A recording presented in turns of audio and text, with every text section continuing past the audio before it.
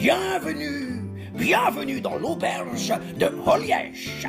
Bonjour à tous, j'espère que vous allez bien. On se retrouve dans une vidéo spéciale arène pour tout simplement progresser et chercher 12 victoires et chercher des meilleures euh, récompenses évidemment. Alors on va tout simplement euh, dans cette vidéo traiter euh, du choix du héros, le choix des cartes, l'utilisation éventuellement de Hearthstone Arena, je donnerai pas mal d'infos là-dessus. éventuellement comment faire sans bien sûr les récompenses. On va commencer directement avec ça, on va rentrer dans le vif du sujet et puis, et puis plein d'autres conseils bien sûr au long de cette vidéo. Donc voilà, alors les récompenses en arène, là je suis sur Hearthstone euh, Wikipédia, quelque chose comme ça, enfin le, Wikipédia des, jeux vidéo en somme.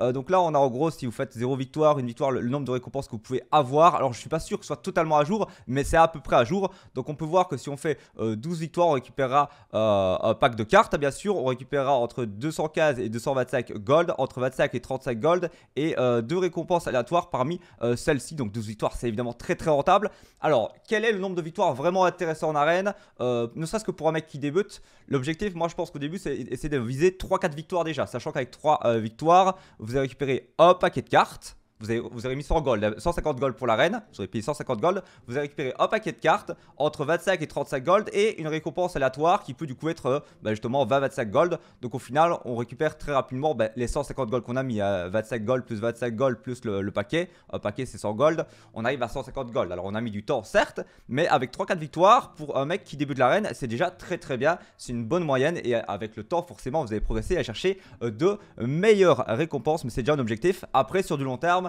euh, un mec qui joue depuis un moment, s'il peut aller taper les 7 victoires, c'est vraiment euh, l'objectif. À 7 victoires, ça vous permet tout simplement de récupérer un paquet de cartes, 150 gold, donc vous allez récupérer l'argent, les golds que vous avez mis dans le jeu, vous les récupérez, et euh, un paquet de cartes gratos, plus une récompense. Donc là, vraiment, le 7 victoires, c'est vraiment le sommet, c'est ce qu'on veut sur le jeu, et pour tous ceux qui disent, bah, ne serait-ce que Hearthstone, il faut payer sur le jeu, bon déjà, c'est pas le cas, mais au pire, déjà, le mode d'arène, c'est gratuit, et en plus, tu peux vraiment avoir autant de gold que tu veux. Il n'y a pas une limite de gold par jour. Certains disent oui, c'est limité le, nombre de gold qu'on peut gagner sur Hearthstone. C'est pas vrai. Via l'arène, tu peux gagner autant que tu veux. Bon, après, il faut évidemment apprécier le mode de jeu. Alors, vous allez me dire, cette victoire, c'est chaud. C'est très très chaud en effet. Euh, d'ailleurs, il faut savoir qu'il y a un classement sur l'arène via le, le, site officiel.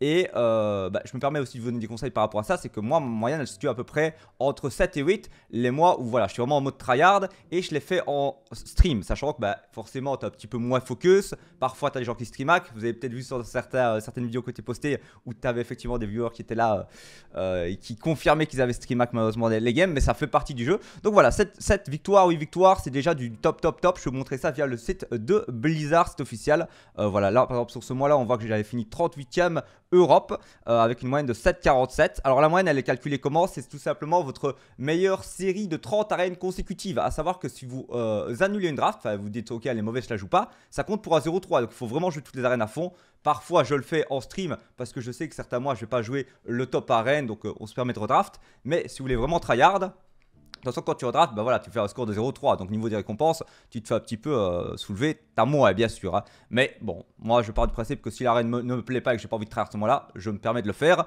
Euh, mais grâce à l'arène, je me fais énormément de, gold, bien sûr. Euh, mais c'est parce que j'y prends du plaisir très important. Et mon meilleur mois, c'était celui-là, je pense. J'avais fini 22ème Europe avec une moyenne de 8.2. Et on peut voir que les mecs vraiment chauds, on a du 9.13. Euh, bon, après, il faut vraiment, euh, faut vraiment tomber sur une bonne série sur les drafts et autres. À savoir d'ailleurs que le mois où j'ai fait 8.22, donc c'est celui-là, je pense. Pop, pop, pom. Ah non, je suis sur le, mauvais. Ah, je ne me trouve plus, je ne me trouve plus. Recherche au liège. ouais, je suis là. le mois où j'ai fait cette moyenne-là de 8.20, j'ai eu un 0.3 dans mes 30 arènes. Hein. Donc il faut faire 30 arènes consécutives. Si vous faites plus, bah, le jeu va tout simplement prendre votre meilleure série.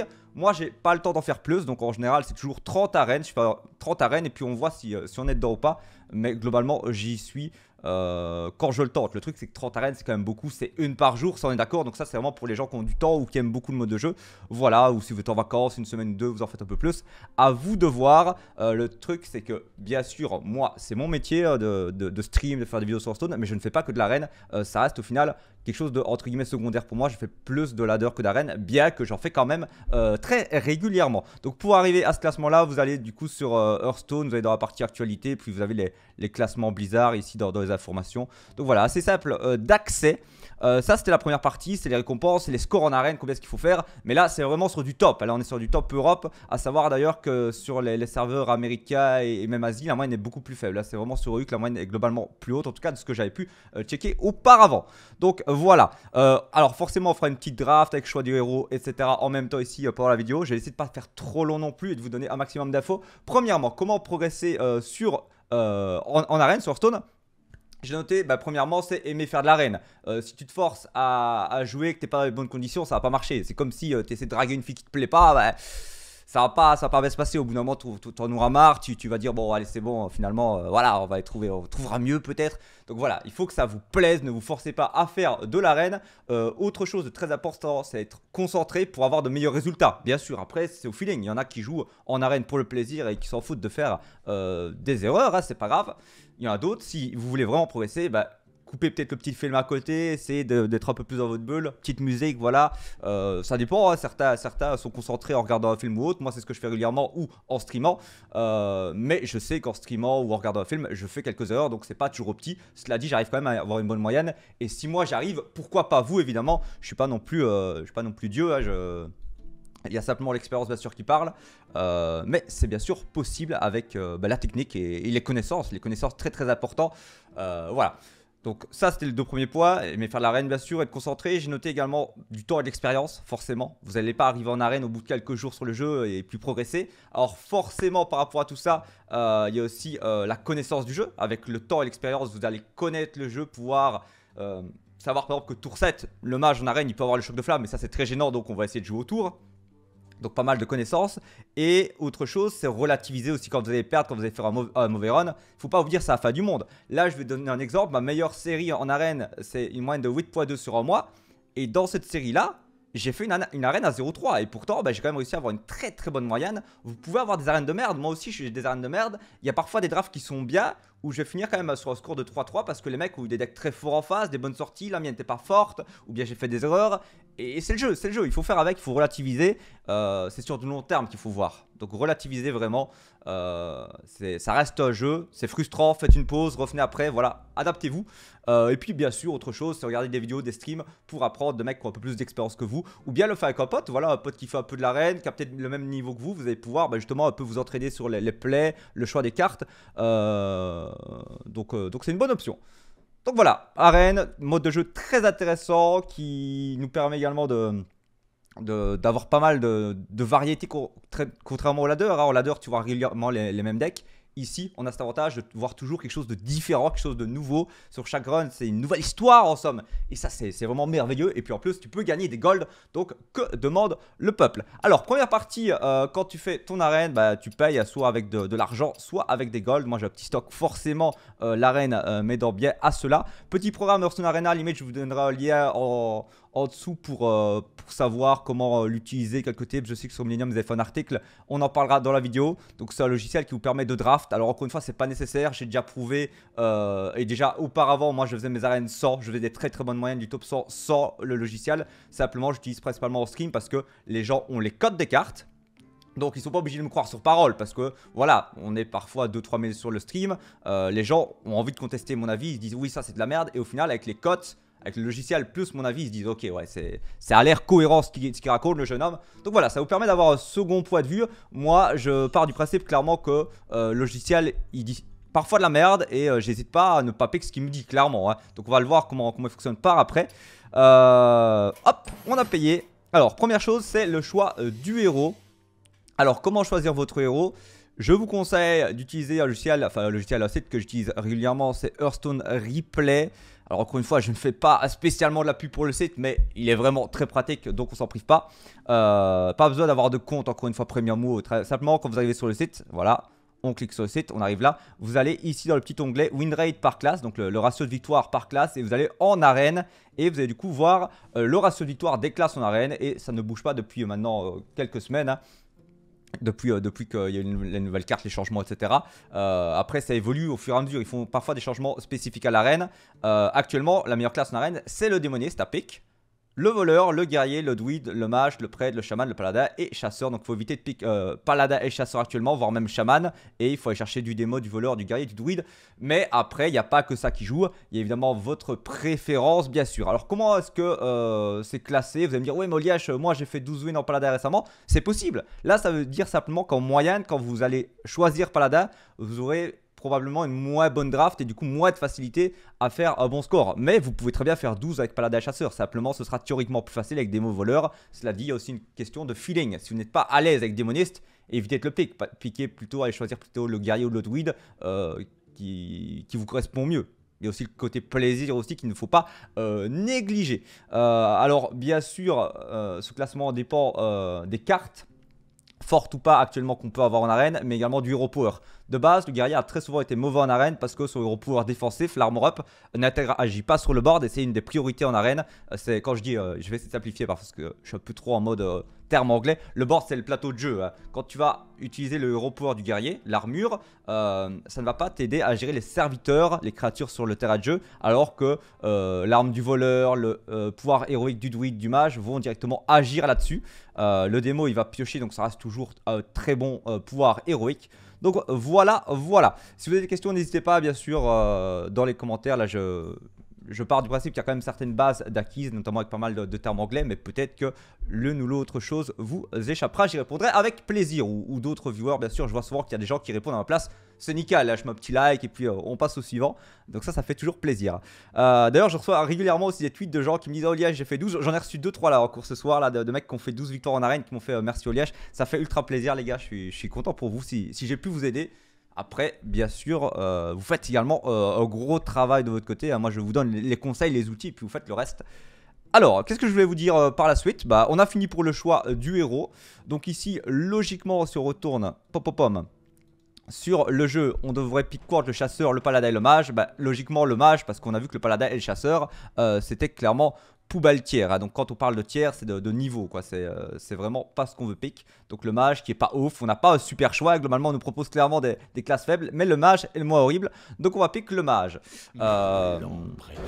Alors il faut savoir que d'ailleurs chaque classe en arène a plus ou moins... Ah merde je vous ai pas montré quand j'ai piqué le mage, bon j'ai piqué le mage, enfin voilà vous, avez compris quoi. Euh, il faut savoir que chaque classe en arène a un peu ses spécificités, notamment par exemple guerrier et prêtre auront tendance, je dis bien tendance à jouer un peu plus contrôle, euh, des classes comme chasseur, chaman voire paladin peut-être un peu plus aggro, le démo je préfère aussi jouer aggro mais voilà ça dépend un petit peu justement des cartes qu'on nous propose en jeu. Le voleur se joue beaucoup aggro tempo, quand je parle d'aggro et de tempo c'est des decks agressifs hein, et tempo c'est des decks qui mettent du rythme, pas temporisation, hein, mais qui mettent du rythme. Donc ça reste assez agressif tempo. Euh, là où effectivement guerrier, prêtre c'est plus contrôle. Mage c'est plus également contrôle, donc euh, contrôler la partie avec des sorts. Euh, c'est pas une classe qui va jouer énormément, de serviteurs. Souvent c'est beaucoup de gestion de board à travers bah, justement des sorts de zone, des AOE, des, des, zones d'effet. Alors, qu'est-ce que je voulais vous dire du coup ensuite? Je, voulais vous parler bah, justement de comment est-ce qu'on choisit nos cartes. Alors Première info importante, euh, choix des cartes, c'est via Hearthstone Arena, ce petit logiciel qui va du coup vous donner les cotes sur les cartes. Première cote, euh, pourquoi j'ai le curseur qui bug? Il faut faire un petit retour. Euh, hop, ouais c'est bon, enfin soit, peu importe. La cote là, c'est la cote basique de la carte de manière générale. Et l'autre cote, c'est la cote évolutive. Donc forcément, par exemple, si on prend le bouquin, la cote basique est de 84 et la cote est de 81. Si vous avez beaucoup de sorts dans votre deck déjà, la cote va diminuer. À l'inverse, si vous avez quasiment que des sorts, euh, que des serviteurs, Vous avez compris, s'il n'y a que des serviteurs, la cote va être vraiment très très haute. S'il y, a pas mal de sorts, la cote va baisser. C'est des cotes évolutives en fonction de ce que vous avez déjà draft. Là, forcément, au début, ça bouge pas trop. C'est tout à fait normal. Mais vous allez me dire, Olivier, j'ai pas envie d'utiliser ça. Moi, j'aime pas ton logiciel. Je préfère le faire sans. Euh, ça sert à quoi Il draft à notre place? Encore une fois, c'est un outil. Si vous voulez pas l'utiliser, vous pouvez clairement faire sans. Moi, globalement, je fais sans euh, la plupart du temps, en tout cas avant. Maintenant, j'ai pris le réflexe de l'utiliser principalement en stream, vu que je fais quasiment mes arènes qu'en stream, parce que les gens aiment ça. Mais c'est à votre choix, c'est selon euh, votre convenance. J'ai d'autres façons de vous conseiller pour, euh, pour faire vos drafts sans utiliser le logiciel. Et c'est ce qu'on va voir maintenant, notamment avec une méthode que j'utilisais avant, méthode qui est reprise d'un autre jeu de cartes de mémoire. Euh, c'est le bread. C'est quoi le bread? Alors en gros, Bread, vous avez le B pour les cartes bombes, le R pour les remove, donc les, gestions, euh, le... Attendez, je me suis perdu là, le, Bread, le, E ensuite pour efficient, le A pour aggro et le Bread, le D pour déchets. Euh, on va voir tout ça juste après.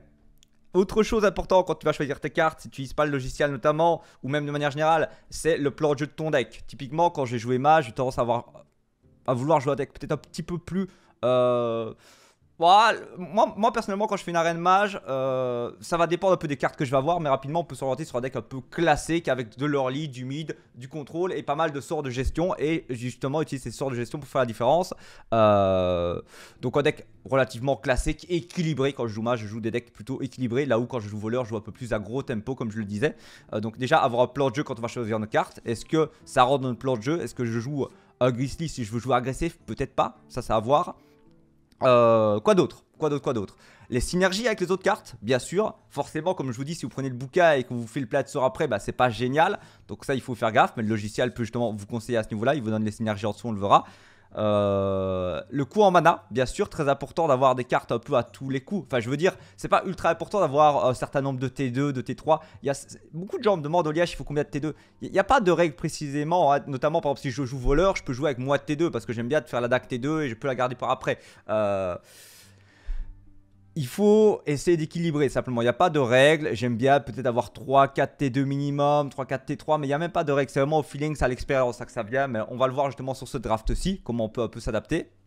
Et, mais, encore une fois, il n'y a pas de règle précise. Hein. Vraiment, ce qui est important, c'est de piquer les, cartes les plus fortes. Et après, on équilibre sur la fin de la draft. D'abord, on, oriente. Mais au fur et à mesure, d'ailleurs, on va équilibrer. C'est d'ailleurs pour ça que c'est très compliqué de faire une vraie draft et de donner des explications. C'est que ça dépend. Chaque choix est important. Il n'y a pas de règle unique. Donc, quand je vous donne des conseils ici, ça reste très compliqué de vous donner. Je peux pas vous dire prenez 5 T2, c'est pas vrai. Parfois, je vais avoir des arènes avec 2 T2 et je vais faire 12. Parfois, je vais avoir des arènes avec 10 T2, je vais un deck ultra agressif et je vais faire 12. Alors bien sûr, 10T2, ça commence à faire un peu déséquilibré, mais c'est possible, ça dépend de quelle carte tu vas récupérer aussi, et de quelle classe tu vas jouer, de quelle carte tu as à côté par après pour peut-être aller piocher, voilà.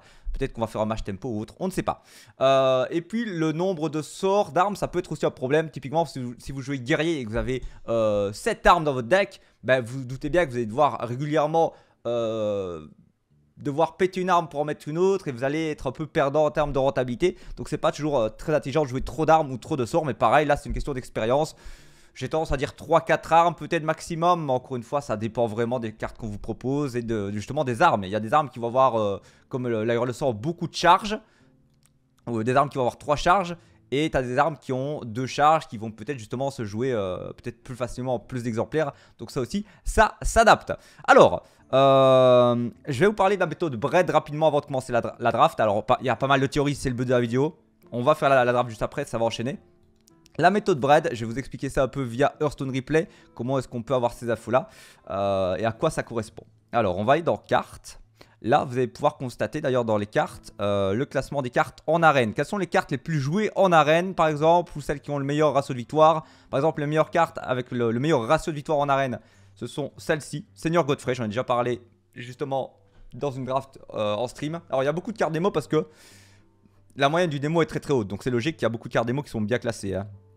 Ça, on en revient au héros. Donc euh, Godfrey qui est la meilleure, la, carte avec le plus gros ratio de victoire en arène parce que très très fort. Godfrey, tout ça, vous avez le classement. Mais moi, ce qui m'intéressait, c'est également les cartes les plus euh, jouées, par exemple, les plus présentes dans les decks, plus précisément. Donc on a du Fongimentia, de la Ventrice, du Vergéant, du Goudron, tout ça, tout ça. Alors, ça, c'est quelque chose à avoir en tête. Forcément, si elles sont beaucoup c'est qu'il y a une raison, c'est qu'elles sont balèzes. Maintenant, quelle est cette fameuse méthode bread avec euh, la première lettre? Donc, c'est l'ordre dans lequel on doit choisir un peu nos cartes. Le B, c'est les bombes.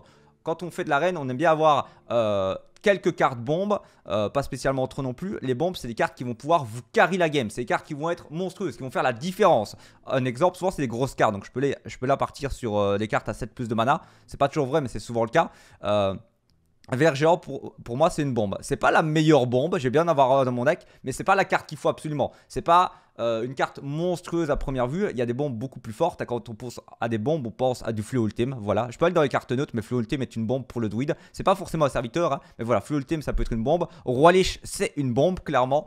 Tranche malheur, c'est une arme, mais pourtant c'est une bombe parce que bah, elle va te ramener des serviteurs, etc. Bon, après, si t'as trop de petits serviteurs dans le deck, c'est pas ouf, mais c'est une bombe. Elle va vraiment impacter énormément la game. Shenker, c'est une bombe. Elle, de, elle demeure aussi. Ça va mettre gros impact dans la partie. Seigneur du vide également, euh, parce que bah, souvent quand elle va être jouée, elle va être très pénible pour beaucoup de decks à passer. Et tu vas pouvoir faire un peu ce que tu veux derrière, faire les trades que tu veux, euh, les échanges, tu veux les serviteurs comme tu le souhaites. Le joueur des mers, c'est une bombe. C'est pas spécialement les cartes qui ont le, le meilleur win rate ou autre. Hein, mais c'est, regardez, par exemple, euh, il y a des cartes qui sont peut-être bien hautes, mais voilà. Kipsichek, c'est pas vraiment une bombe, ça, rentre plutôt dans la case remove, mais c'est une très bonne carte aussi, cela dit. Voilà, voilà.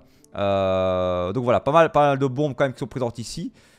Forcément, parfois la, frontière est mince entre une catégorie et l'autre, mais c'est pour vous donner un peu une idée. C'est des cartes qui peuvent vraiment impacter la partie euh, de par leur euh, effet ou de leur capacité à rester sur le terrain. Comme je vous ai dit, là on voit pas le vert géant, il est beaucoup plus bas. Mais pourtant, pour moi, c'est clairement une bombe. C'est une carte qui va vraiment faire une réelle différence. Isera aussi. Voilà, voilà. Alors, euh, ça, c'était pour le B. Ensuite, pour le R, on va parler de remove, donc de gestion. Alors là, on part plutôt principalement sur euh, des sorts, mais pas que. Par exemple, un chevalier noir, euh, Big Game Hunter, allez, euh, j'ai oublié le nom en français, le chasseur de gros gibier, ce sont des, des removes, c'est de la gestion en soi. Euh, on a la tueuse de dragon qui peut être considérée comme remove, mais il faut qu'il y ait suffisamment de dragons en arène, et là c'est pas trop le cas, donc c'est pas un vrai remove vu qu'il y a très peu de dragons. Pareil pour le Golaka par exemple, le petit crabe qui mange les pirates, s'il y a beaucoup de pirates, on le considère comme euh, remove comme une gestion, sauf qu'on voit très peu de pirates en arène, donc euh, c'est pas trop le cas, c'est plus une 2-3 pour 2 en l'occurrence. Mais surtout, quand on parle de remove, on parle surtout euh, principalement de sorts, voire d'armes éventuellement. Alors, normalement on peut les classer par sort, par type peut-être, voilà c'est ici, les sorts. Pourquoi j'ai que ça en sort? Bah oui, je suis dans les gros sorts, mais soit. soit, on n'est pas obligé de mettre que les gros sorts. On peut mettre peut-être euh, win rate du deck quand il est présent. Bon, voilà, ça rentre pas dans, vraiment dans les remove le fléau. C'est vraiment une carte qui rentre encore une fois dans la catégorie bon parce qu'elle a un énorme impact. Assommer, c'est un remove. C'est de la gestion, mais qui te donne pas mal de tempo, de rythme. C'est pour ça qu'elle est forte en voleur. C'est une très très bonne carte. Siphonner, c'est un remove, c'est une gestion. Voile de mort, c'est aussi un petit peu dans la catégorie, mais en même temps pioche, un petit peu double effet, on va dire. Euh, attaque sournoise, voilà, mais plutôt orienté euh, remove, rythme, tempo. Euh, l'arme toxique, profanation, enfin voilà, beaucoup de, beaucoup de sorts de zone, météore très très fort, le balayage, euh, éventuellement l'éventail, la métiste. Vous comprenez un peu le délire voilà, du, choc de flamme. On a vu Météore, de la colère. Ça, ce sont des cartes de gestion, euh, de remove, de quoi euh, gérer le terrain, le board. Hein. Il faut vraiment réussir à contrôler euh, la phase, le plateau de jeu. Donc, on a vu les bombes, remove. On va enchaîner sur le E, efficient. Donc là, ce sont les cartes qui vont vous permettre souvent de faire du 1 pour 2. Un exemple, vous allez jouer... Attendez, je vais essayer de trouver la carte. Est-ce que je peux faire une recherche ici? Voilà, ça c'est une carte efficient euh, par excellence, c'est une de mes cartes préférées en arène. Euh, pourquoi? Bah, Parce qu'elle va souvent faire du 1 pour 2. On a une AA pour 3, bouclier divin toxicité. Quand vous allez la jouer, d'ailleurs on peut rentrer les cartes toxicité comme l'escargot dans les cartes de gestion. Hein. une A2 pour 2 qui peut, voilà, tu as un gros serviteur, ça peut être une carte un peu de gestion également. C'est pas encore une fois que euh, des sorts, les cartes de, remove. Donc lui, s'il n'y a pas de pouvoir héroïque du style druide, mage ou voleur en face, on est contre un guerrier, bah souvent cette carte-là va gérer du coup deux serviteurs. S'il n'y a pas d'arme ou autre, ça va gérer deux serviteurs et du coup c'est une carte qui en gère deux, efficient, de la rentabilité, c'est excellent. Alors, dans le côté efficient, ça peut être également des cartes qui vous en ramènent d'autres, comme du but de pierre, du Drake d'os, euh, des cartes qui vous font piocher éventuellement. Si éventuellement la carte va pas à la fatigue, bah, le fait de piocher, ça va peut-être vous ramener, je sais pas, vous avez joué une intelligence, vous avez récupéré deux cartes. Pourquoi pas une rage du combat L'intelligence, c'est ok en arène, mais c'est pas la meilleure carte selon moi pour le mage. Euh, par exemple, une rage du combat guerrier est beaucoup plus intéressante parce que ça coûte moins cher et tu, tu plus souvent l'occasion de piocher plus. Euh, j'ai noté quoi en carte J'ai noté les armes, bien sûr, les armes du guerrier. Je vais virer la recherche ici. Pour le guerrier, on a de très très bonnes cartes et surtout les armes. Voilà, une des meilleures cartes efficient. Remove, hein, on a un peu dans, comme je vous l'ai dit, la frontière masse, c'est une carte qui va à la fois gérer et faire de la rentabilité. Vous avez plusieurs charges. c'est une super carte pour le guerrier. On pourrait quasiment se dire que c'est une carte bombe, mais c'est un petit peu. Voilà, la frontière est masse, mais c'est pour que vous ayez comme ça un peu une image de tout ça. Euh, c'est pour ça que c'est pas une méthode que j'utilise énormément parce que c'est un peu complexe de catégoriser les cartes parce qu'elles rentrent parfois dans plusieurs. Mais voilà, super carte pour le guerrier. Euh, souvent, on va tuer avec cette carte là 2, 3, 4 serviteurs parfois. Pareil pour la, la, le sort ou ce genre de choses très très bonne carte pour l'arène. Voilà, on peut considérer également avec l'erreur un peu dans cette euh, optique là parce que tu vas piocher une carte et en même temps tu, as, tu m'as body 3-4 pour 4. Donc elle peut euh, plus ou moins rentrer là-dedans. Attention que forcément si tu récupères une carte à 1 qui coûte 5, la rentabilité elle est un petit peu moyenne. Hein, mais, mais ça peut être à l'inverse très très bon. Euh, donc ça c'était les cartes efficientes. J'ai mis commandant d'argent aussi par exemple, ce genre de choses. Black Knight, elle est plus dans le côté gestion, mais elle est également dans le côté efficient. Hein. Euh, tu gères un serviteur et en même temps tu poses un body. C'est les deux, c'est remove, c'est efficient, c'est ce qu'on aime.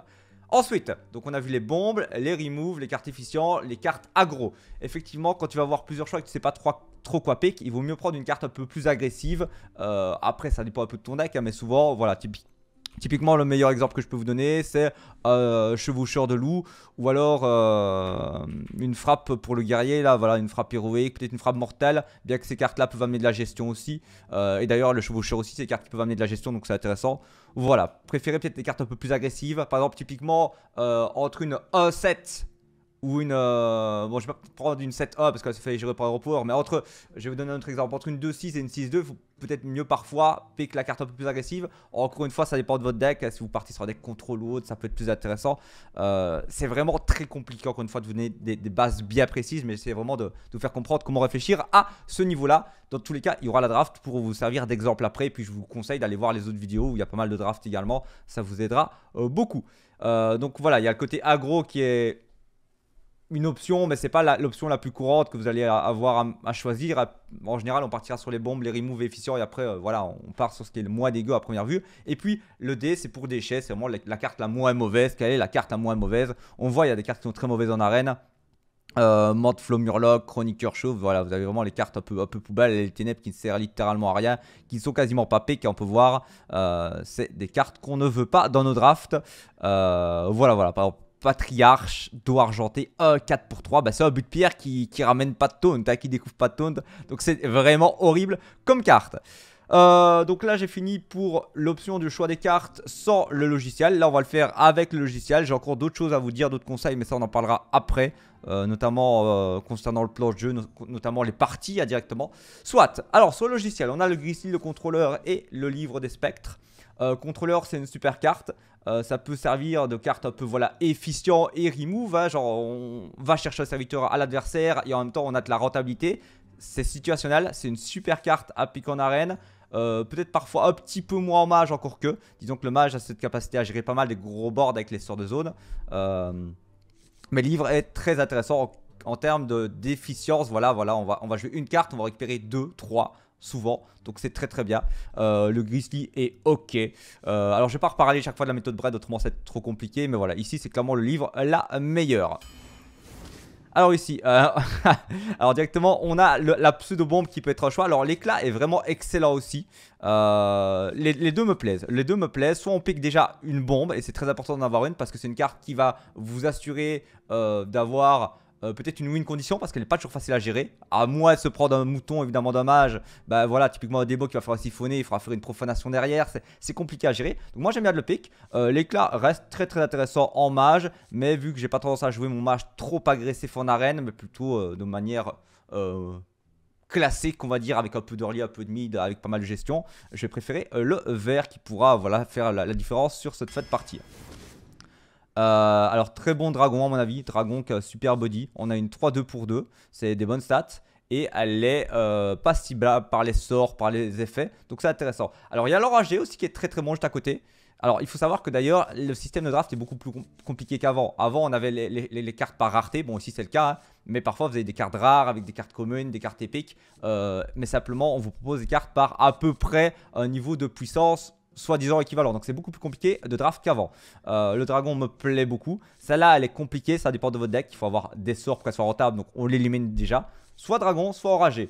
Euh, L'oragé, simplement, c'est une carte qu'on peut rentrer un peu à la catégorie agro, entre guillemets, de ce que j'ai dit, bien qu'elle agro pas, mais elle va faire un trade. Ouais. C'est un peu une carte on va la dire, on va dire que c'est une carte un peu remove, un peu gestion mais c'est pas non plus une gestion incroyable, elle est ok comme vous pouvez le voir à la cote. Alors moi les codes du logiciel je les ai plus ou moins en tête parce que forcément je pas mal utilisé, mais ici je suis assez d'accord que Dragon un petit peu mieux, on va déjà chercher un petit T2, euh, il nous faudra quand même de, quoi prendre de leur lit. Il faut faire gaffe parce que parfois en arène, vous allez avoir parfois un petit peu de mal à avoir suffisamment d'early game, notamment avec le mage, parce qu'en mage vous avez piqué très souvent beaucoup de spells, beaucoup de sorts de, de, gestion, blizzard, choc de flamme, météore. Donc si vous prenez en plus beaucoup de gros serviteurs, vous allez vous retrouver avec un petit manque d'early game, de, petits serviteurs pour le début de partie. Et vous arrivez en fin de partie, sans serviteurs, vous allez perdre. Donc j'aime bien. Mais en mage, j'aime bien quand même d'assurer quelques petits T2 déjà assez tôt dans la partie, donc ça me va. Mais le AG, très très bonne carte aussi à pick en arène, c'est très très correct. Alors, là on est sur des cartes poubelles, certainement prendre le Grizzly par défaut, euh, une 3-3 pour 3. Pourquoi est-ce qu'on préfère ça à une 2-2 pour 2 Parce qu'une 2-2 pour 2 ça gère pas grand chose. Euh, en arène, il n'y a pas souvent beaucoup de TA qui sont joués. Donc globalement, on va avoir une 2-2 pour 2 qui va se faire défoncer par beaucoup de tours 2 qui seront des 2-3 pour 2. Le Grizzly a cet avantage d'être une 3-3 pour 3 et de pouvoir gérer peut-être les tours 2 de l'adversaire du tour précédent. Le mec aura posé son T2 sur le T2 à une 2-3 peut-être et vous avez posé une 3-3, vous prendrez la gestion. C'est pas ouf comme carte, je vous l'accorde, mais c'est la moins mauvaise des trois. Là on a la catégorie un peu déchet pour la méthode bread, c'est la carte la euh, moins dégueu on va dire. Euh, et puis le côté taunt peut parfois être ok, bon elles ont toutes taunt mais voilà. Grizzly est décent. Euh, alors, on va certainement partir sur le qui est tout simplement le meilleur body. Donc voilà, ça c'est cartes où on n'est pas vraiment dans une catégorie de la méthode Bread, est-ce que je vous expliquais euh, C'est pas, pas une bombe, c'est pas un remove. Euh, on peut la catégoriser entre guillemets dans la carte un petit peu efficient, dans le sens où l'idée c'est d'en faire une 3-4 pour 3 qui va peut-être justement gérer d'autres 3-3 et dans ce cas là bah, elle peut gérer un autre serviteur et peut-être prendre un pouvoir héroïque sur sa tête ou reprendre un échange donc c'est un peu dans cette catégorie-là qu'on essaie de l'intégrer, entre guillemets. Euh, carte pseudo-efficient, une 3-4 pour 3, on joue au stats. Hein. Le but c'est d'avoir euh, deux fois euh, les stats de la carte. Donc pour 3 de mana, tu vas avoir 6 stats plus quelque chose si possible. Là, on a le cas. On a, on a 3 plus 4, on a 7 de statistiques pour 3 de mana. et c'est relativement bien équilibré vu que c'est 4 points de vie. 4 points de vie autour 3 avec 3 attaques, c'est un bon body, donc on aime bien. Les deux autres, euh, Spell Power, bon, on n'a pas encore de sort. Hein. Puissance des sorts, dégâts des sorts, on n'en a pas encore, donc c'est pas très intéressant. Euh, si on avait plein de petits sorts, pourquoi pas. Et le paysan, c'est moins intéressant. Le vol de vie, tout ce qui est euh, vol de vie, c'est pas la capacité qui nous intéresse le plus en arène. Après, ça dépend encore une fois de votre draft de manière générale. On va partir sur le lutin qui est la meilleure Alors, Necro, c'est excellent en termes de value. Euh, je ne l'ai pas cité d'ailleurs dans les cartes efficientes, mais ça en fait partie. Au même titre qu'un bras champi, parce que, en gros, tu poses un serviteur du style un dragon, euh, euh, comment ça s'appelle encore, l'escargot, et tu peux peut-être tuer un autre T2 tout en posant un body. Donc c'est une très très bonne carte. On le voit, elle a une meilleure cote que le Rocknisher de très très peu. Mais c'est effectivement une très bonne carte. Plutôt dans les decks agro tempo qui va avoir beaucoup de début de partie pour qu'elle soit rentable, il faut avoir quand même beaucoup de T2. Autrement, bah, tu l'as ajouté T3, t'as rien à, cibler, ou alors il faut un autre T3 à jouer sur T3 via la pièce. Enfin, un T3 à jouer sur T2 via la pièce. Donc, très bonne carte. Euh, celle-là est pas mal, mais le Rocknisher un petit peu mieux. Rocknisher, c'est une des meilleures cartes T5. C'est une très bonne carte. T'as une 4-7 pour ça, c'est des bonnes statistiques. On a 11 de stats pour ça, c'est excellent. Et euh, on a le côté euh, provocation qui peut, qui peut pop, du coup, si on a déjà deux serviteurs sur le board. J'aime beaucoup le Rocknisher. J'aime beaucoup le Necro. Dans un match, je tendance à plutôt prendre le Rocknisher. Pas parce qu'il me met la cote, rien à voir. Comme je l'ai dit, pour moi, Necro est un peu meilleur de manière générale, simplement. Euh, mage, c'est pas la classe où j'ai plus d'early game. Mais ça se pique. Honnêtement, on pourrait honnêtement clairement le pick. Là, c'est un petit peu tôt pour se décider. Simplement, vu que j'ai tendance à jouer mon mage de manière classique. Euh, et pas spécialement à gros tempo. Pourquoi pas prendre un Rocknisher pour avoir aussi un tone déjà pour le, mid-late, vu qu'on veut rentabiliser sur les sorts et jouer un petit peu euh, classique contrôle avec les sorts. Rocknisher, Necro, les deux sauvales. Là, ça dépend de notre deck. Là, c'est un petit peu tôt pour le dire. Euh, certainement la petite étoile ici. Très bonne carte en fonction de vos classes. Si tu joues voleur, c'est excellent. C'est une des meilleures cartes à pique limite sur T3 quand tu joues voleur. Ici, on joue pas voleur, on a mage. On n'a pas de réelle synergie avec ça. Euh, tout ce qui est secret, c'est pas les meilleures cartes à pique en arène. Ça peut être des sorts et l'étoile, bah, c'est une bonne carte. On mana, inflige un poids de dégâts euh, à un serviteur et au serviteur adjacent. Pourquoi pas? Bon, anti-synergie entre guillemets avec le livre, mais bon, la carte est meilleure, donc on ne peut pas euh, s'occuper de ça en priorité. On va vraiment plutôt sur le côté petit clean, voilà, sympathique. Mhm. Là, on est clairement sur un choix pas terrible. Hein. Euh, gel, c'est la moins intéressante. Bon, on vous met la cote, mais c'est évident. Gel au serviteur, c'est déjà gelé, le détruit. Assez compliqué, ça synergise pas avec le bouquet, on peut le citer. Le lézard, c'est une carte très moyenne. À la limite, si on a des élémentaires, ça devient intéressant. Là, c'est pas le cas. Et le commando, euh, c'est loin d'être fou, mais au moins ça fait 2 points de dégâts. Donc ça peut faire un truc, ça petit côté efficient dans l'idée où tu peux peut-être tuer un serviteur que tu pouvais pas gérer et tu as un petit body 4-2 pour 5. Euh, donc ça peut être décent, c'est pas fou non plus. Les deux sont pas folles là. Euh, donc souvent, quand je suis en fin de draft, ça va plutôt dépendre de mon nombre de T3 ou de mon nombre de T5 pour savoir laquelle je choisis. Là, j'ai un T5, j'ai deux T3. On peut clairement prendre le commando pour avoir un petit effet. Mais c'est loin d'être fou. Alors, certainement le course givre ici qui est euh, tout simplement excellent, je trouve. Moi, je préfère largement le course givre au, Bristol. Pourquoi? Bah Parce que body 4-4 pour 3, c'est très très bon. Le logiciel nous dit ça, mais je suis pas d'accord. Euh, les silences, c'est pas euh, exceptionnel en arène. Ça peut être très fort, mais tu veux pas avoir des cartes trop trop stationnelles en arène non plus. Parce que quand tu vas avoir ton Brissor, bon, on n'a pas encore de T4, ça peut être un argument, mais c'est pas un vrai T4. Le Brissor, on le joue dans l'idée de silence, quelque chose. S'il n'y a pas de cible, bon, on n'en fait rien, on doit attendre pour le rentabiliser. Ça peut être gênant. Course GIF, c'est un excellent serviteur. 4-4 pour 3, c'est très très bon. Alors il y a le petit côté gel, mais souvent on peut jouer intelligemment pour que ce soit pas euh, pénalisant. C'est très très bon. Le geyser est également une bonne carte. Après, course GIF, c'est un très bon body pour le tour 3. C'est une carte qu'on peut rentrer un peu dans la catégorie efficient. Elle va être compliquée à gérer. On aime bien, voire même euh, pseudo agro aussi. Euh, le body est très très lourd. On valide. Alors, Mhm. certainement le petit manipulateur ici qui est euh, le meilleur body. Voilà, une 4-5 pour 4. Kirin Thor, la cote est pas off, mais en fonction de si vous avez des secrets, d'ailleurs la cote est même baissée parce qu'on n'a pas encore de secrets. Et évidemment, si vous avez des secrets dans l'ex, ça devient beaucoup plus intéressant. Là, c'est pas le cas, donc on prend une 4-5 pour 4 qui peut même avoir un effet positif. Hein. Euh, si on a des cartes ramenées sur du but de pierre euh, ou genre de choses, ça en devient très intéressant. Donc réduit de 2 cristaux le coût des cartes dans votre deck, mais euh, ne venant pas directement de votre deck. Donc voilà, via euh, but de pierre, glyph ou genre de choses, c'est profitable. Et puis c'est un élémentaire, donc euh, si on a d'autres synergies élémentaires plus tard, ça peut être également intéressant. Donc premier T4 au passage, un T4, donc c'est d'autant pas plus mal. Alors là, certainement, pour moi, le brasseur un petit peu au-dessus de ça. Je sais que le jeu parfois veut me le faire pick, mais moi je préfère globalement un body 3-2 qu'une 1-5. Ça reste euh, parfois un peu compliqué à gérer à la Osaka, mais moi j'ai une préférence pour le brasseur, surtout que parfois on peut avoir des synergies par la suite. Bon là pour moi on n'a rien d'exceptionnel, on a juste le commando, en cri de garde vraiment intéressant si je dis pas de bêtises. Mais on peut avoir d'autres effets intéressants. Donc vous avez les, cartes synergie juste en dessous. Hein. Vous avez le commandant et vous avez également le manipulateur. Bon le manipulateur en combo ne sert à rien. Mais si vous avez un but de pierre ou autre par après, c'est cool. Et puis mettre une 3-2 T2, ça reste sympa. Le robot est ok. Euh, moi, j'ai plus confiance au brasseur. Je sais que si j'ai un bon cri de guerre, ça pourra vraiment combo. Avoir des synergies méca en arène, c'est pas simple. Bon, les deux se valent au final au niveau des cotes. Hein. Mais je me dis qu'effectivement, sur un but de pierre ou autre, ça peut vraiment euh, faire euh, une grosse déf. Et puis ça me fait un deuxième T2 dans tous les cas. Il nous en fallait. C'est pas plus mal. Alors, Là, ça va faire peut-être un petit peu trop toto, mais c'est quand même intéressant. Là, c'est vraiment le choix difficile euh, dans l'idée de... Euh, enfin, c'est pas le choix difficile, on sait bien que le vert, c'est le meilleur, ça c'est évident. Mais en gros, il va falloir faire gaffe par après. Parce qu'il ne faut pas se retrouver avec un deck trop late. Donc on va le pick très certainement, parce que elle est meilleure que les deux autres. Mais par la suite, on se dit, ok, 2 T8, c'est beaucoup. Globalement, en arène, 2 T8, ça fait déjà beaucoup. Euh, sachant qu'en plus, c'est la même carte. Ça, c'est quelque chose que j'évite d'avoir. Des grosses cartes qui sont les mêmes, même si elles sont très très fortes. Ça peut gêner dans le sens où euh, bah, si je suis derrière et que j'ai besoin de taunt ou autre, bah, je vais avoir deux cartes qui seront mortes. Donc c'est moins polyvalent, ça me laisse moins d'options. Mais on le voit au niveau des cotes et de manière générale, c'est tout simplement meilleur. C'est une bombe, c'est une carte qui peut carry la game. Les autres n'ont pas cette capacité-là vraiment à, carry de manière exceptionnelle. Donc on va préférer ça. Mais il faut faire gaffe. 2 T8, ça, ça fait beaucoup. Là, on est à 12 cartes maintenant. On a un seul spell, si je ne dis pas de bêtises, plus le bouquin. On a 2 T2. Ce serait bien de récupérer peut-être au moins 2-3 euh, sur l'ensemble de la draft. Voilà, j'essaie de viser 3, 4, 5, ça dépend un peu de ce qu'on propose. On a 3 T3, pareil, si on peut en avoir un ou deux de plus, pourquoi pas. Alors je compte pas spécialement les livres ou autres pour, euh, des serviteurs euh, pris au board. Donc voilà, quelques T3 en plus, pourquoi pas. On a un seul T4, il en faudra plus. 2 T5. moi, ce qu'il me faut surtout là dans mon deck, c'est des cartes typiques du mage qui vont vraiment faire la différence. C'est les cartes de Remove, du choc de flamme, Météore, excellent, Blizzard, c'est les cartes que je veux. Alors, le vert épique. Euh, ouh, le marshmallow est très très bon en arène. Necro aussi, ça reste une, des, excellente carte, on le voit à la cote d'ailleurs. Hein.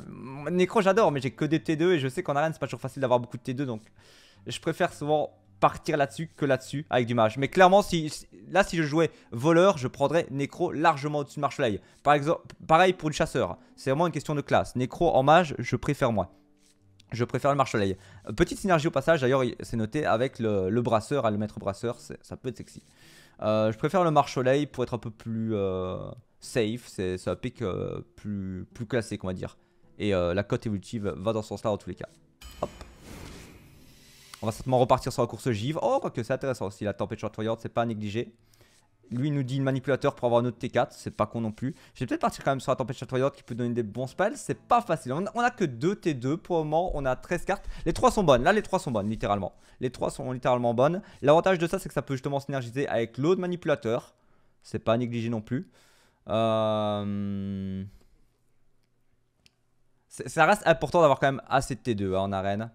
Alors, il n'y a pas de, nombre bien précis, mais les, 3 sont exceptionnels. Oh, les 3 sont tellement bonnes. Choix difficile. Là, c'est clairement un choix où je peux, prendre limite 10 minutes à y réfléchir. Bon, on va pas le faire pour la vidéo, mais là, là c'est vraiment. Euh, ça joue à rien, ça joue au détail. Le logiciel nous dit celle-là, mais c'est pas spécialement celle que j'ai envie d'avoir d'office. Je peux très bien avoir d'autres bons T4 par après. Pareil pour être T2, T3. Hein. Euh, ah. De base, je pense que c'est celle-là la meilleure quand même. C'est celle-là qui peut me donner le plus de. Euh, euh, de value trade, des charges rentables, qui peut mettre le plus de rythme dans la partie. Je préfère à celle-là, honnêtement.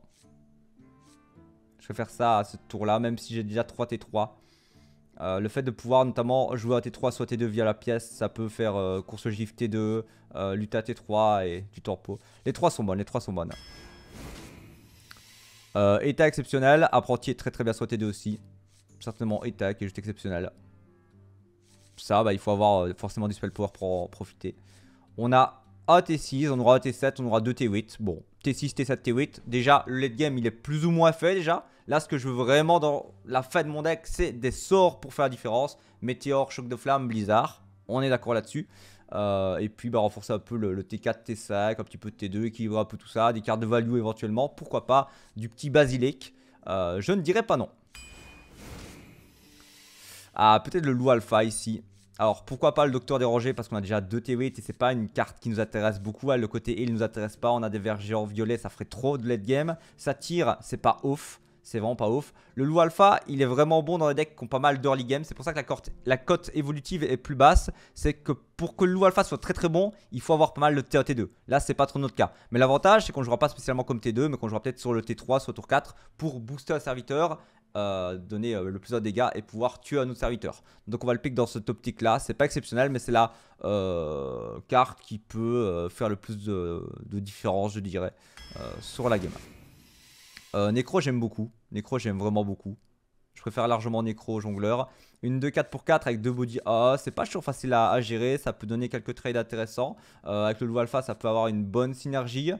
Avec un pseudo brasseur, imaginons si euh, le serviteur est blessé, qu'on la remonte, pourquoi pas. D'ailleurs, le brasseur peut servir à ça. Serviteur qui est blessé, vous le remontez, hop, vous le reposez.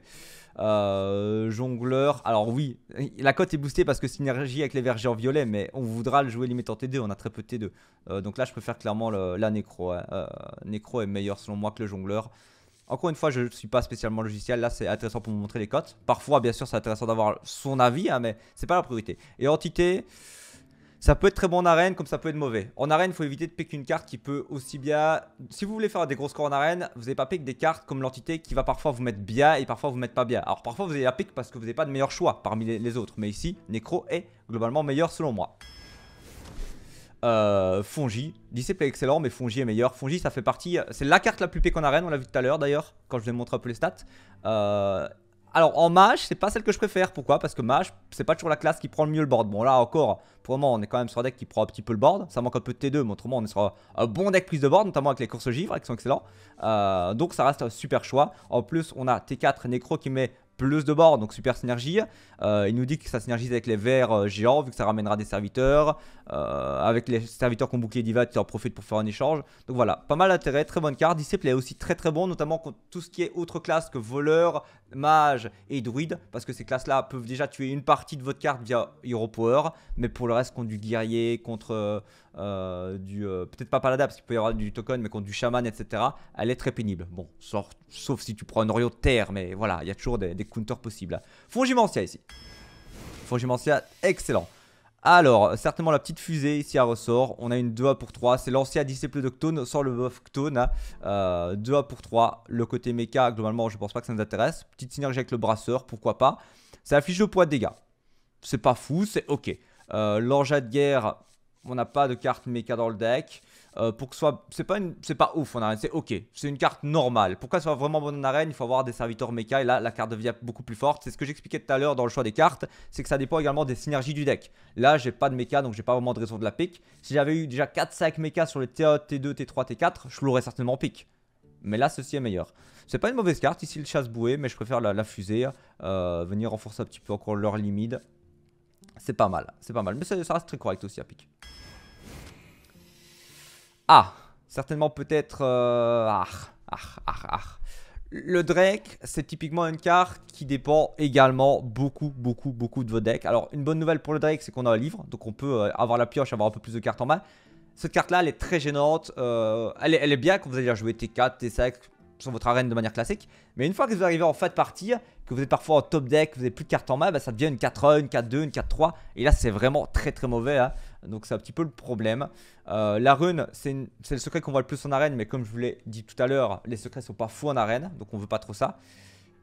Et là, bah, ça synergise pas super bien. On n'a pas vraiment de quoi profiter de cette carte-là pour qu'elle soit intéressante, il faut un petit peu de spell power. Là, c'est pas fou, donc on va certainement prendre le Drake par défaut. C'est pas mauvais, j'abuse, mais c'est pas une carte que j'aime pick en arène. Mais bon, là, on a quand même quelques cartes late game, on a de la pioche, donc euh, ça semble cohérent dans nos decks. C'est pas, pas du tout une mauvaise carte. Hein.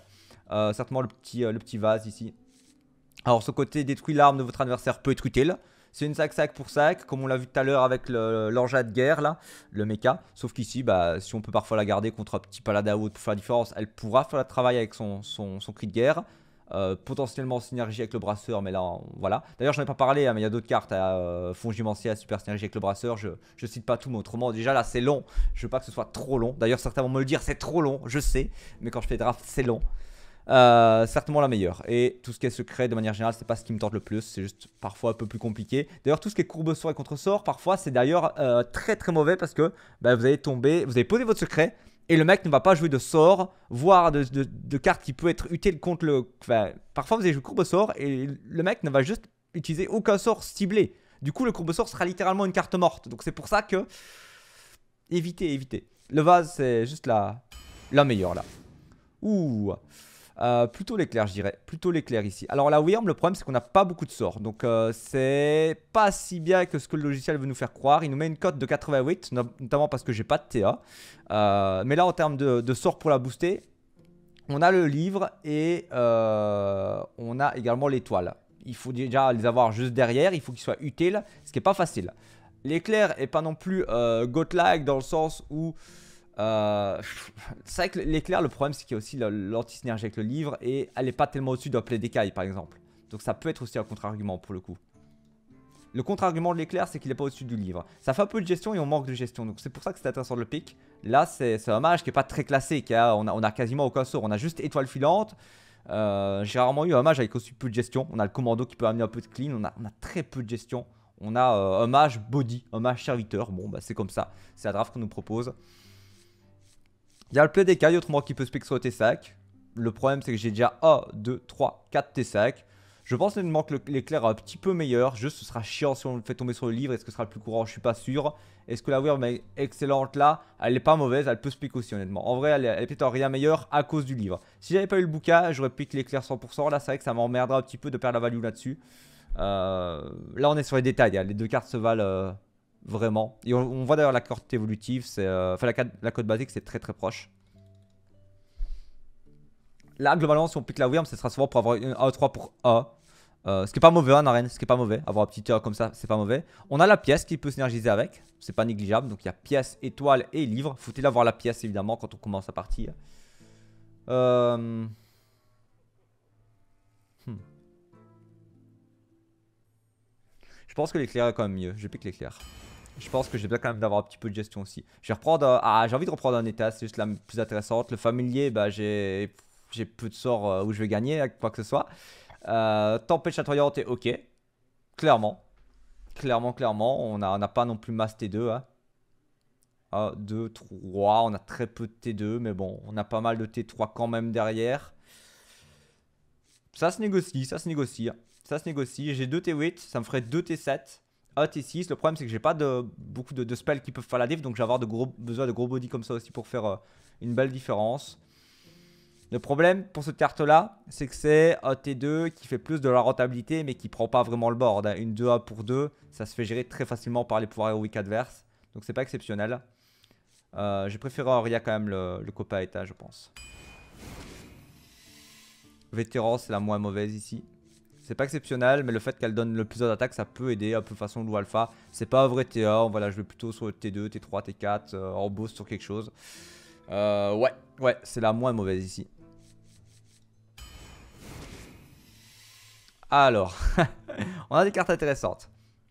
Le tigre, c'est une sac-sac pour ça camouflage. L'avantage qu'elle est camouflée, c'est que tu peux faire le trade que tu veux. Ça, c'est une très mauvaise carte. Pourquoi? Bah, Parce que c'est trop lent à rentabiliser. C'est pour ça que la cote est très mauvaise. On a une 4-4 pour 8, c'est très mauvais. Ral d'agonie invoque deux arbrisseaux euh, fourchus de 2 qui eux-mêmes, quand ils vont mourir, ont Ral d'agonie d'invoque deux euh, arbrisseaux AA. Donc ça fait beaucoup de statistiques. Le problème, c'est que c'est trop lent pour l'arène. C'est quelque chose qu'on ne veut pas. C'était la même chose à l'époque. C'était euh, l'avorton, je pense, une 2-6 qui a invoqué 3 fois des 2-2. ce genre de cartes ne sont pas bonnes en arène et puis on a déjà assez de late. Alors, ça joue entre les deux. Ici, le tigre est certainement le plus stable. Cela dit, la gelée peut être extrêmement forte. Alors, la gelée sera un peu plus forte si j'avais une meilleure prise de board, peut-être. Euh, parce que pour qu'elle soit forte, il faut être vraiment devant sur le, plateau de jeu, sur le board, pour commencer à snowball, euh, prendre l'avantage et qu'elle puisse amener ses petits, ses petits limons A2, les invoquer à la suite. Euh, là, on est sûr de rien. Les choix sont assez proches, mais le, tigre est vraiment plus safe. C'est le choix plus, le plus logique le plus, euh, le plus polyvalent. Si on est derrière, le tic sera largement mieux. Hein. Imaginez les situations où vous êtes derrière sur le terrain de jeu, que le mec a déjà le board, vous posez votre gelée, il va vous défoncer. Le tigre, il attendra et il prendra l'échange qu'il faut derrière.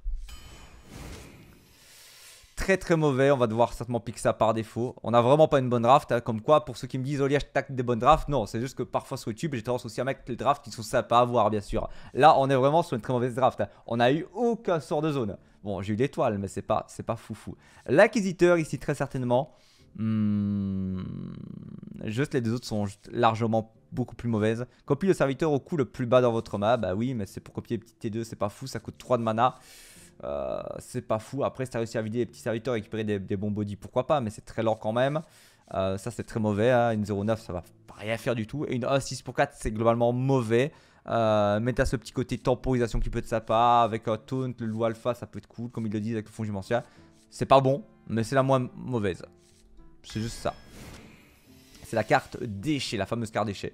Je n'aime pas ces deux cartes-là, donc je vais certainement m'orienter sur le état. Marche glace, 3 pour 2 élémentaire, votre pouvoir héroïque gèle aussi la cible.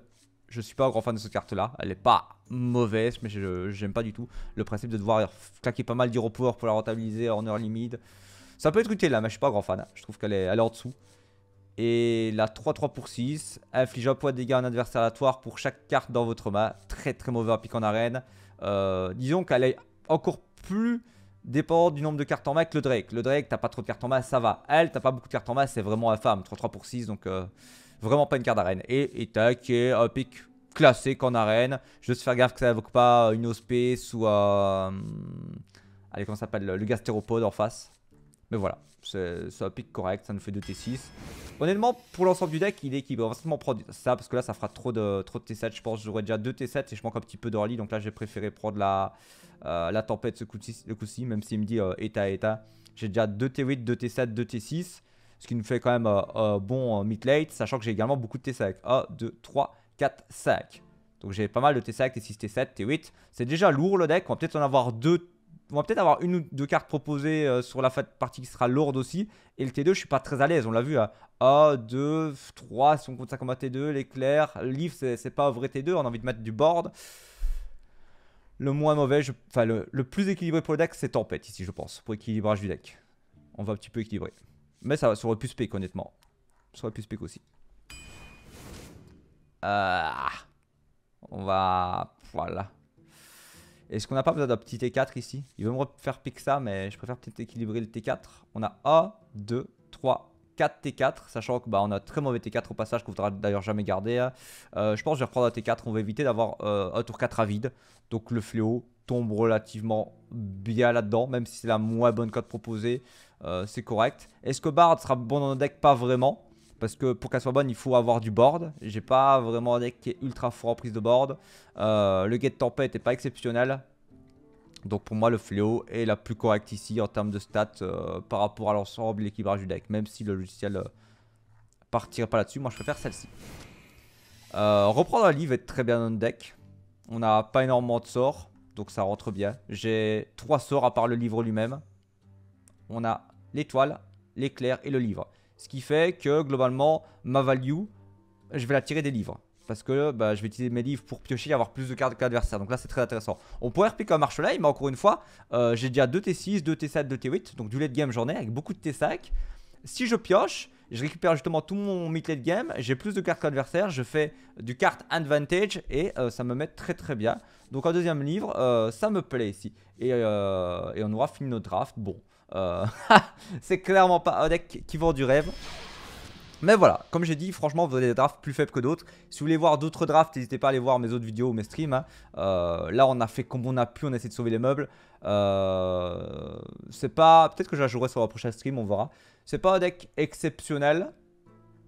Le but avec ce genre de. Quand, quand moi je fais mes top arènes, il y a des decks où je sais que je vais faire des bons scores, que je peux faire viser du 10, 12. Et il y a des decks avec lesquels je sais que je veux essayer de sauver les meubles. Là, on est clairement dans cette catégorie-là. Avec ce deck-là, euh, le but c'est d'aller chercher à 5-6 victoires. Alors parfois, je vais faire 2 victoires avec ce genre de deck. Euh, parfois, étonnamment, on va réussir à enchaîner les games, ça va se mettre bien, on va taper du 8, 9 victoires, c'est improbable, mais ça arrive, parce que bah, euh, on n'a pas eu des decks trop forts en face, on a eu des bonnes sorties, on a joué plusieurs fois T2 courses givre, T3 courses givre, du coup en termes de tempo on était devant, on a enchaîné avec T4 Necro, T5 Fugimentia, le mec a pas réussi à nous tenir, on a enchaîné avec un T6 Marche Soleil, état vert géant et puis ça a bien snowball. Il y a des bonnes cartes dedans. Hein. Simplement, euh, on retrouve pas les cartes vraiment qui font que le mage se met souvent très très bien, c'est-à-dire les AOE, les sorts de zone. Euh, en de départ, de manière générale, je garderai quoi? Étoile, ça va dépendre. Contre Paladin ou autre, pourquoi pas, mais de manière générale, je le garderai pas. Vétéran, pas spécialement non plus. J'irai chercher en de départ Dragon Féerique. Éclair, c'est cartes que je garderai. Soit en de départ. Le brasseur aussi, qui était à jouer en simple body trois cartes que je garderai. Les livres, je les garderai tous les deux, je pense. Peut-être pas les deux si j'ai les deux, mais j'en garderai un. Euh, donc ça, ça fait une carte, deux cartes, trois cartes, quatre cartes que je vais en mettre départ.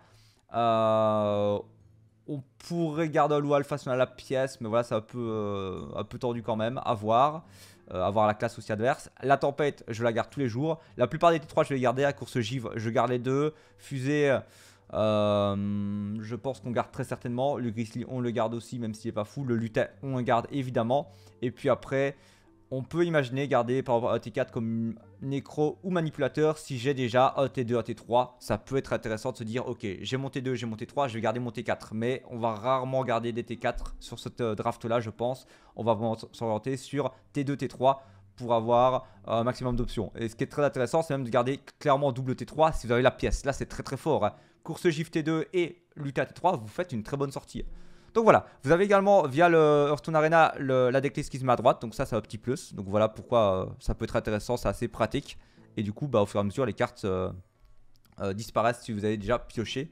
Donc plutôt utile. je vous ai montré la cote évolutive du deck, je pense pas. Attendez, comment je peux vous montrer ça?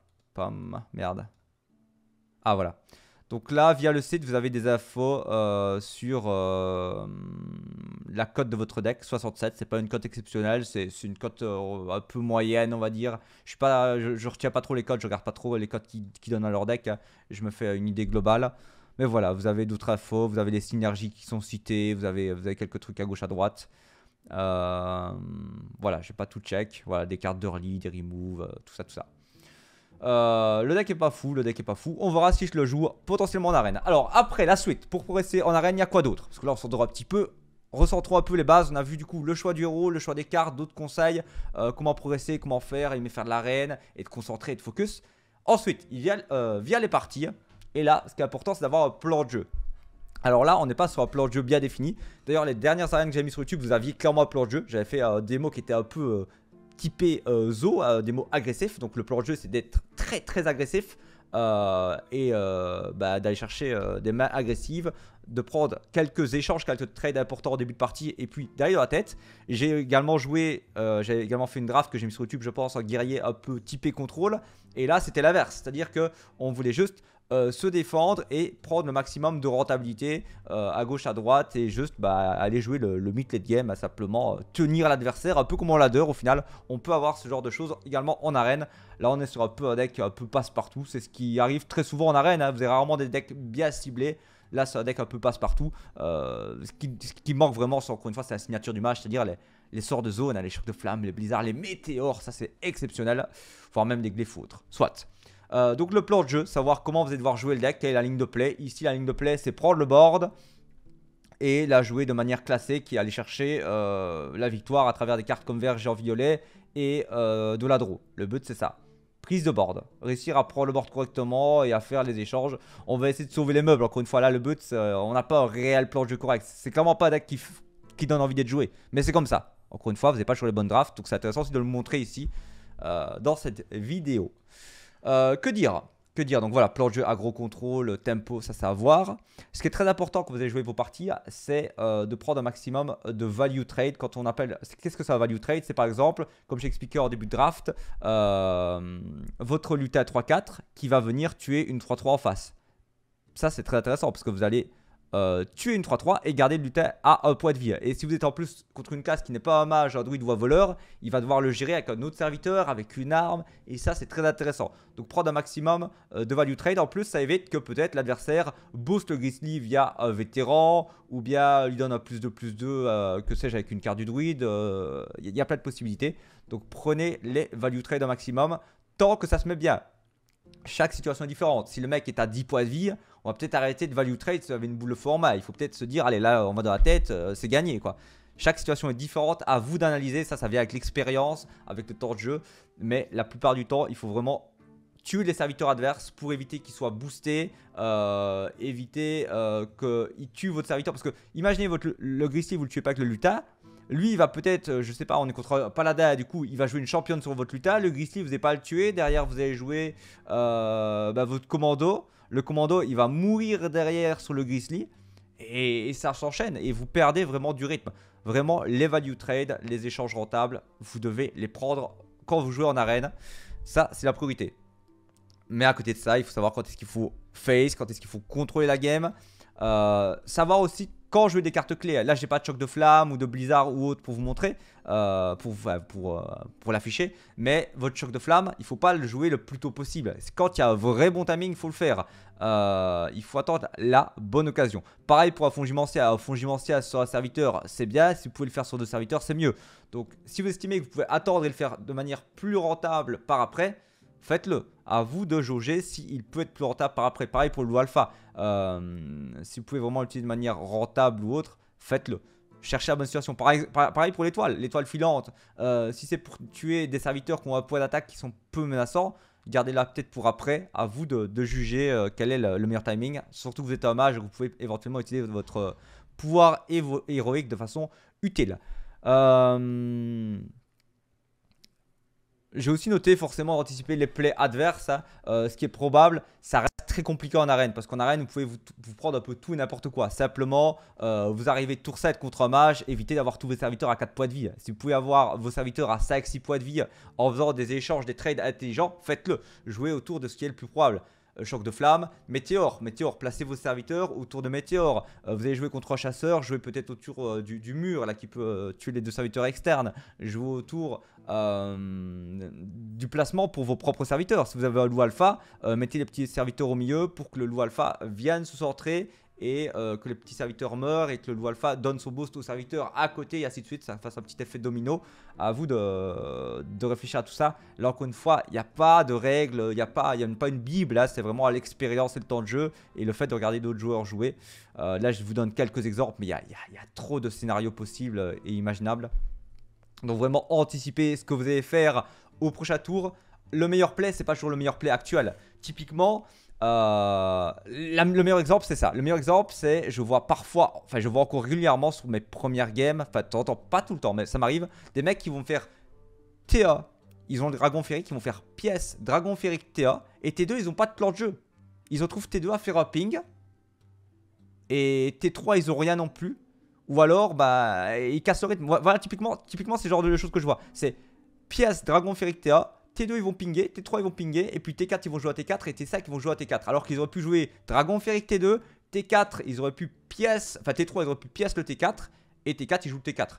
Donc vraiment, regardez votre mat de départ, comment est-ce que vous allez euh, utiliser vos ressources pour être le plus adapté possible et euh, bah, optimiser tout simplement l'ensemble de vos plays. Pensez pas quel est le meilleur play sur un tour, le meilleur play c'est sur plusieurs tours, il faut voir global. Essayez d'anticiper ce qui est le plus probable que l'adversaire fasse également. Vous pouvez avoir des infos également. Hein. Si, vous avez plate, si vous avez plusieurs serviteurs à deux points de vie, que le mec, ça pas la il a pas fait de consécration, arrêtez de jouer au tour. Forcément, après il peut la top deck, mais euh, parfois vous pouvez avoir les infos. S'il y a un serviteur qui n'est pas géré, qui a deux points de vie, vous inquiétez pas, le tour d'après, s'il y a encore un serviteur à deux points de vie, il n'avait pas la gestion de tour d'avant, peut-être qu'il ne le fera pas. Donc essayez d'avoir des infos indirectes par rapport à ce que l'adversaire fait ou ne fait pas, justement. Ça reste très compliqué à l'arène, encore une fois, il y, a, tellement de choses à penser parce que en ladder, tu sais autour de quelle carte jouer, tu connais les decks, en tout cas quand tu as un peu d'expérience. En arène, c'est beaucoup plus complexe, il faut essayer de jouer autour d'un maximum de choses et c'est là que c'est très compliqué parce que. Euh, dire je joue autour du choc de flamme, c'est bien, mais en même temps, quand tu joues autour du choc de flamme, tu joues peut-être pas autour euh, d'une boule de feu ou ceci ou cela. Donc, euh, il faut essayer de prendre le maximum de choses possibles en compte et d'en tirer ce qui vous semble être le meilleur play le plus probable. Et c'est là où euh, bah, il faut un peu d'expérience et je suis le premier encore à, à, merder sur ces choses là c'est pas toujours opti mais je fais au mieux. J'essaie de, justement euh, trouver quel est le meilleur compromis entre bah, il faut s'y agresser. Typiquement si tu joues autour du choc de flamme mais que derrière il te reste deux cartes en main le mec on a, on a, on a 7 et que du coup tu ralentis la game bah, le temps de le tuer de le finir tu pas le temps en fait. Donc parfois il faut carrément se dire ok là il peut choc de flamme mais je n'ai pas le choix. Je n'ai plus que deux cartes en main. Si je ne mets pas mon, tous mes serviteurs et je tente pas le all-in, je ne gagnerai pas la game parce que sur de la durée euh, je n'ai pas les ressources pour le tenir parce qu'il a plus de cartes que moi. Et voilà il y a des situations où il faut dire ok c'est mauvais de jouer comme ça parce qu'il a choc de flamme mais c'est la seule façon pour moi de très certainement gagner la, la game donc je dois le faire. C'est pas bon play mais c'est le bon play pour gagner la game. Et ça, c'est très subtil et on va dans parfois des, réflexions qui sont un peu tordues. Mais voilà, ça, ça vient encore une fois, je le répète, avec l'expérience. Donc ce sera un peu le mot de la fin. Il faut jouer pour progresser. Euh, voilà, voilà. Je, je, vous dis à très bientôt pour une prochaine vidéo et j'espère que ça vous aura plu. Ciao les gars Hey, n'hésite pas à t'abonner pour ouvrir plein de légendaires dorés. Et n'oubliez pas, moins tu dors, plus t'es fort.